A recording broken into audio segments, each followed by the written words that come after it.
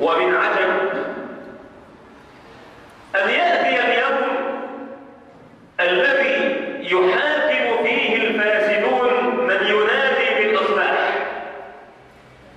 فريدة في كل شيء يا ثورة مصر ننادي بعزم الغلول ومحاسبتهم سياسيا فإذا بهم هم من يريدون